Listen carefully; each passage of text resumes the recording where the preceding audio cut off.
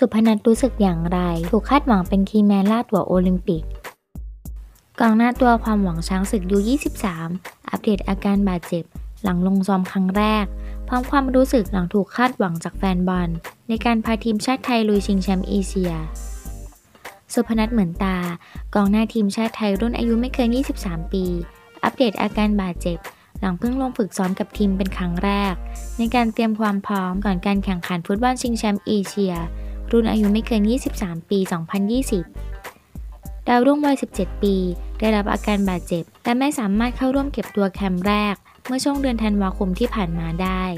อย่างไรก็ตาม อากิรานิชิโนะคุณซื้อช้างศึก ตัดสินใจใส่ชื่อเป็นหนึ่งใน 23 คนสุดท้าย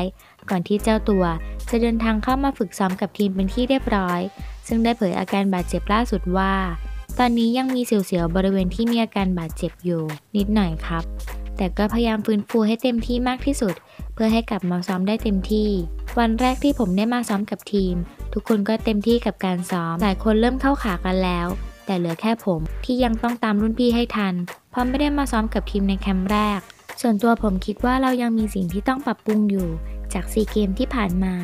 แต่มองว่ามันอยู่ที่จังหวะกับโอกาสมากกว่า มันบอกไม่ได้ว่าผลจะเป็นอย่างไร แต่ถ้าเราเต็มที่ ผลที่ออกมาก็น่าจะดีครับ การเก็บตัวครั้งนี้ จะเห็นว่าตอนนี้เรามีผู้เล่นใหม่ ๆ เข้ามา ผมมองว่ามันเป็นข้อดีนะ เพราะทำให้ทุกคนทั้งคนเก่าและใหม่ ต้องการพัฒนาตัวเอง เพื่ออยากเอาชนะเพื่อนร่วมทีมทำให้การฝึกซ้อมเข้มข้น และสูสีมากขึ้น ขณะเดียวกันได้กล่าวถึงความกดดัน เมื่อเป็นหนึ่งในผู้เล่นตัวความหวังช้างศึก U23 ด้วยวัยเพียง 17 ปี ซึ่งก่อนหน้านี้เพิ่งทำไป 5 ประตู ในการแข่งขันซีเกมส์ 2019 ที่ฟิลิปปินส์ว่า ตอนช่วงแรกที่ผมขึ้นมาเล่นในรุ่นที่โตขึ้น ก็ไม่ค่อยกดดันครับ แต่พอเราเริ่มทำได้ ก็เริ่มมีความกดดันเข้ามา แต่ผมพยายามไม่คิดมาก ทุกครั้งผมพยายามโฟกัสในการฝึกซ้อม และแท็กติกของโค้ชมากกว่า ว่าเราควรจะต้องทำอะไร พัฒนาจุดไหนเพื่อให้ออกมาดีที่สุด รายการนี้มันไม่ง่ายอยู่แล้ว แต่ผมว่าเรามีโอกาสเข้ารอบ คิดว่าน่าจะสนุก แน่นอนครับ ทุกทีมที่เข้ารอบสุดท้ายเป็นของจริง และแข็งแกร่งทั้งนั้น